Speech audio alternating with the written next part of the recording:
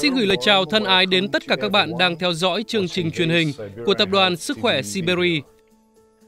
Tôi tên là Yuri Gichev, Giám đốc khoa học của Tập đoàn Sức khỏe Siberia. Trong chương trình này, tôi xin giới thiệu với các bạn hai sản phẩm mới của chúng tôi, đó là Syncrovitan 7 và Trimegavitan, tinh chất lutein và zeaxanthin. Hai sản phẩm này đã được phát triển dành riêng để bảo vệ mắt khỏi hiện tượng lão hóa sớm và cải thiện thị lực một cách tự nhiên. Cách đây rất lâu, có một lần, Thánh Thomas Aquinas đã nói, tôi có thể nhìn thấy nhờ ánh sáng mặt trời, và đó là một chân lý tuyệt đối. Các tế bào thị giác của chúng ta nằm phía sau mắt, có thể tạo ra và gửi đi các tín hiệu thị giác tới não bộ chỉ khi chúng nhận được năng lượng, năng lượng ánh sáng.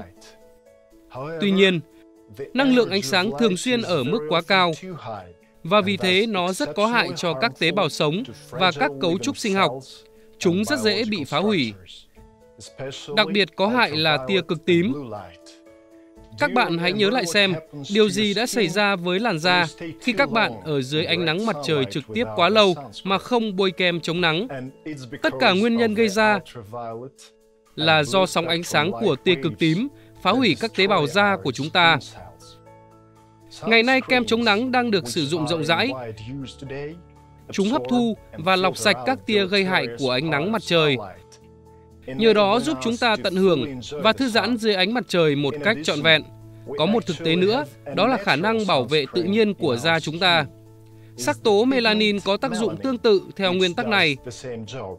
Chúng ta càng ở lâu dưới ánh sáng trực tiếp của mặt trời, thì lượng melanin được các tế bào da của chúng ta sản sinh ra càng nhiều. Khi đó, bạn sẽ sở hữu một làn da rám nắng tuyệt đẹp. Điều tương tự cũng xảy ra với đôi mắt của chúng ta nhưng rất tiếc sẽ không có bất kỳ kết quả đẹp đẽ nào. Thực tế là các tế bào thị giác dễ bị tổn thương và nhạy cảm với ánh sáng hơn nhiều so với các tế bào da. Chúng không có khả năng tự bảo vệ bằng cách sản sinh ra một chất tương tự như sắc tố melanin.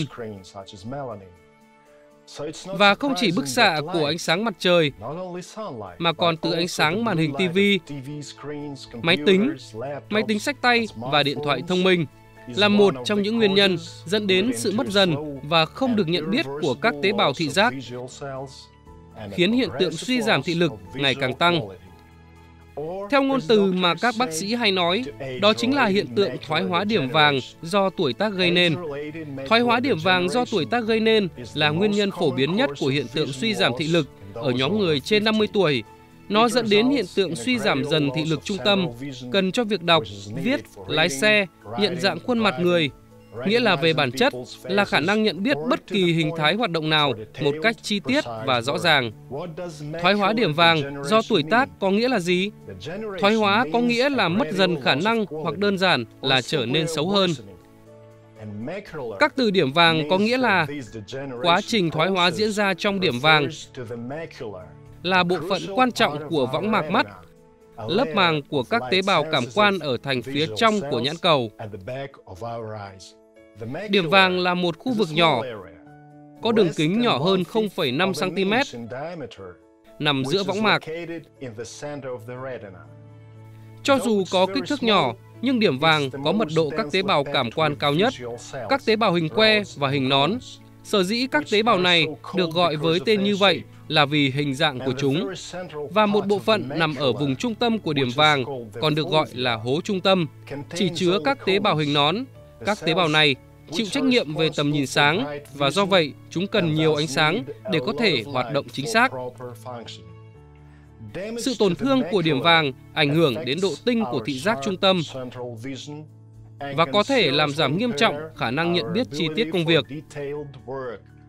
Phần còn lại của võng mạc chủ yếu được sử dụng cho tầm nhìn xa hoặc tầm nhìn bên cạnh. Tầm nhìn này thường không tập trung vào một điểm.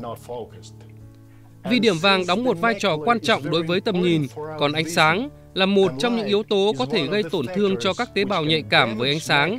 Chúng ta có thể đặt câu hỏi, tại sao làn da có vẻ như ít quan trọng hơn lại được bảo vệ khỏi bức xạ ánh sáng, còn đôi mắt thì lại không được bảo vệ?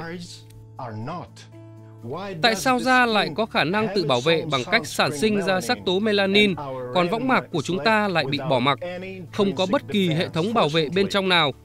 Rất may là võng mạc, và đặc biệt là điểm vàng cũng có khả năng mạnh mẽ bảo vệ chống lại ánh sáng.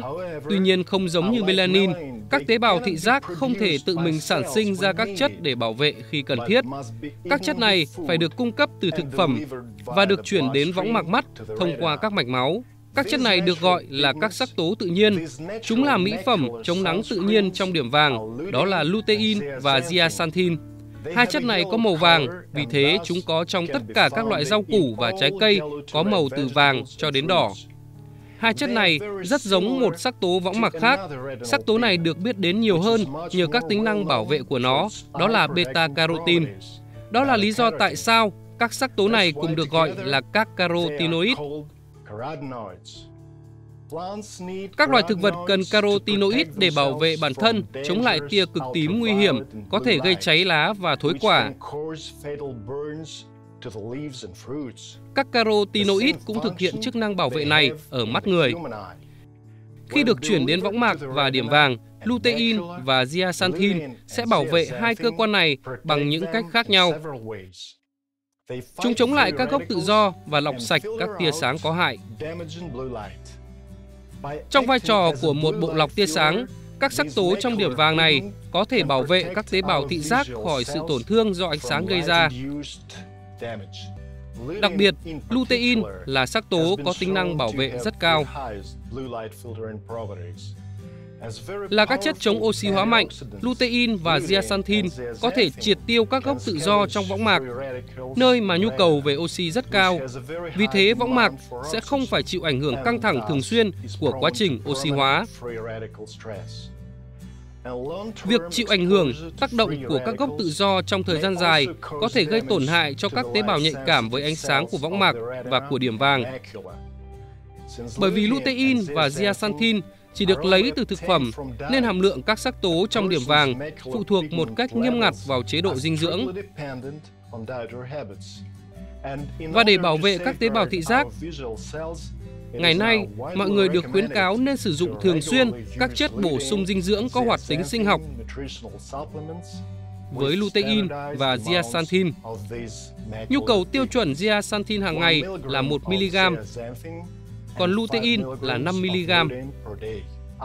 Sản phẩm thực phẩm chức năng mới của chúng tôi, Synchro Vitan 7, có chứa đầy đủ hàm lượng lutein và zeaxanthin ở dạng các chiết xuất thảo mộc tự nhiên. Một sản phẩm khác của chúng tôi là Trimegavitan, tinh chất lutein và zeaxanthin, có chứa các sắc tố điểm vàng với hàm lượng cao gấp 2 lần nhu cầu tiêu chuẩn trong một ngày đêm, gần 2,5 mg zeaxanthin và 10 mg lutein. Các hoạt chất này thu được từ dầu của cây hắc mai biển Siberia là nguồn cung cấp tốt nhất lutein và zeaxanthin trong tự nhiên. Tuy nhiên, trong thành phần sản phẩm SynCro Vitan 7, ngoài lutein và zeaxanthin, còn có beta-carotene và anthocyanin tự nhiên. Beta-carotene là chất chống oxy hóa mạnh mẽ và đóng một vai trò quan trọng trong việc truyền dẫn hình ảnh trong quá trình chuyển ánh sáng thành tín hiệu thị giác, nhìn thấy được bằng mắt thường. Anthocyanin là một loại sắc tố mắt rất quan trọng khác. Chúng có màu tím và cũng sở hữu tính năng lọc ánh sáng xanh dương. Nhờ đó mà chúng được các loại thực vật sử dụng rộng rãi để bảo vệ lá, hoa và quả chống lại ánh nắng mặt trời. Đặc biệt là các loài cây như cà tím, việt quất quả đen, mận, nho đỏ. Các loại trái cây này có màu sắc khác biệt là do chúng có chứa hàm lượng cao anthocyanin. Tuy nhiên, anthocyanin có thể tan trong nước và không thể xâm nhập vào các tế bào điểm vàng, vốn rất giàu các axit béo. Ngược lại, lutein và zeaxanthin là các chất tan trong dầu. Thay vào đó, anthocyanin thâm nhập vào thủy tinh thể và bảo vệ nó chống lại sóng ánh sáng có hại. Tất nhiên là ánh sáng có thể gây tổn thương cho thủy tinh thể và gây ra hiện tượng đục thủy tinh thể. Cần nói thêm rằng, anthocyanin còn được biết đến như là chất chống oxy hóa rất mạnh. và có thể giúp cải thiện tuần hoàn máu trong các mạch máu nhỏ của võng mạc. Quá trình vi tuần hoàn diễn ra ổn định trong võng mạc cũng không kém phần quan trọng bởi vì các tế bào thị giác cần số lượng lớn oxy để có thể hoạt động bình thường. Lượng oxy cần thiết này nhiều hơn so với phần lớn các tế bào khác của cơ thể. Và việc lưu thông máu kém cũng là một nguyên nhân gây ra hiện tượng thoái hóa điểm vàng do tuổi tác. Thiên nhiên mang lại cho chúng ta tất cả những gì cần thiết để giúp con người có thể trở nên khỏe mạnh. Dù vậy, cho đến ngày hôm nay, không phải tất cả mọi người đều biết về điều này. Bằng việc chia sẻ kiến thức của mình cho mọi người, chúng ta có thể làm được nhiều việc hơn và có cuộc sống tốt đẹp hơn. Hãy tham gia cùng chúng tôi trên kênh truyền hình Sức khỏe Siberia.